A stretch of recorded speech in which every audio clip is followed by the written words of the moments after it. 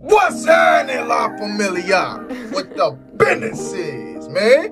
What's happening, man? Y'all know we back in this thing with another one. Best blogger on YouTube, what can I say? If I do say so myself, man. Love being in here rocking out with y'all. Y'all know I gotta give y'all this exclusive. Had to come and hear it. Drop it on you, you feel me? So hey, man, with that being said, we got a crazy topic for the day as we got my boy YNW Melly. And YNW Melly pretty much let it be known on Instagram that he is coming home this year, sooner than later. So he obviously got some good news from the pic y'all see right here, smiling and whatnot, in court and whatnot.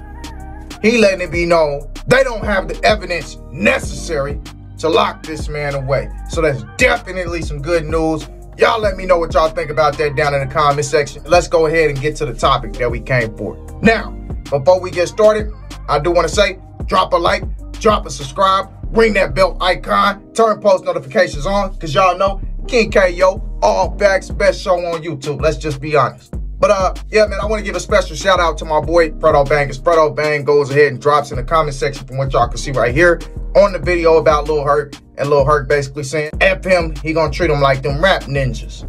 I said ninjas, ninjas. Don't get the tripping, YouTube.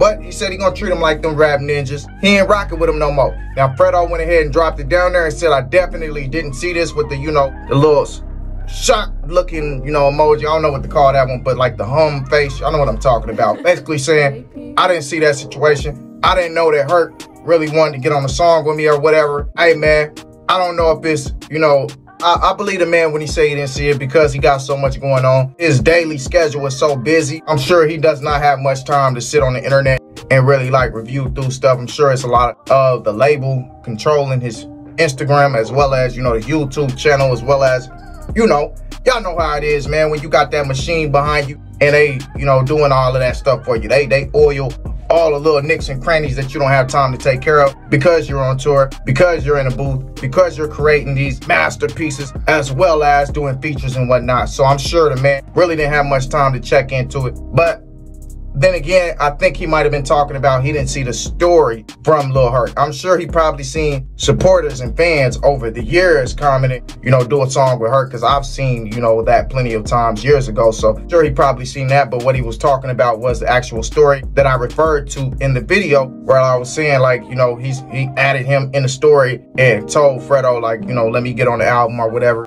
And uh, I'm sure that's probably what he was talking about that he didn't see. So as you can see, man, obviously Fredo, you know, still has a heart for Lil Hurk.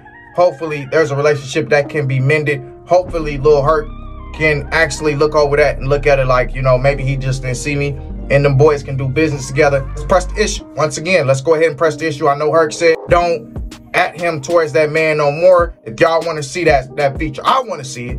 So hopefully y'all want to see it. And if y'all want to see it, go ahead and uh, blow that man Fredo up and let him know. Fredo, hey, we need that Hurk feature. Y'all already know what it is. Y'all be cool, family. Peace and blessings, kings and queens. I'm out. Believe.